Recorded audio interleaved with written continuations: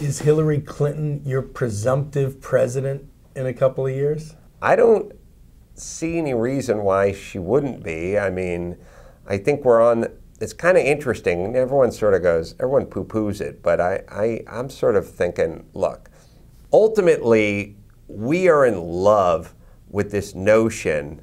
There's this thing that's happened lately where I don't know when it started. I think it's when, about the time we started calling free dogs at the pounds rescues, and then the Who Saved Who bumper stickers started pop, popping up on everyone's Yaris, and now everyone's a hero and everyone's part of change. And you know, the, the, I think we were all pretty happy and not only happy from a historical standpoint, but happy with ourselves that we voted the first black president in office. Like we get to say, hey, that was on our watch. You know, when history looks back on this time, we'll all get to go, yeah, before us, too uptight, man. Now, look at me. You know, that was me. That was on my watch.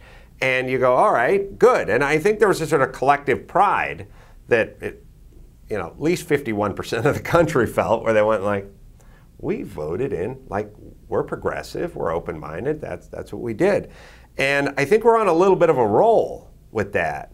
So now we could make history again.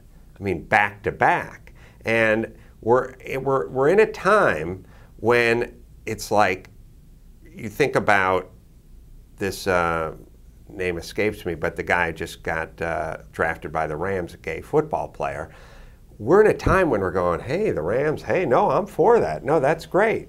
And it is great. But we're all taking credit for it. And it's weird because we don't have anything to do with him or the Rams organization well, or the NFL. But we tweet about it. and thus we get some kudos and some that boys because hey, we said, hey, I was on Twitter saying that was awesome and the Rams are brave and this is great and this what a difference and how progressive and everything we are.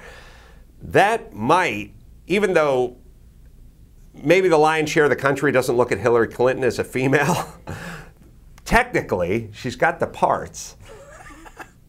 Pretty sure she's got most of the parts to make her female. And I think we might just be on a roll going, we are going to be part, when history is written, we will be that generation that was progressive enough and open minded enough to, ver- to vote in the first African American and then the first woman back to back.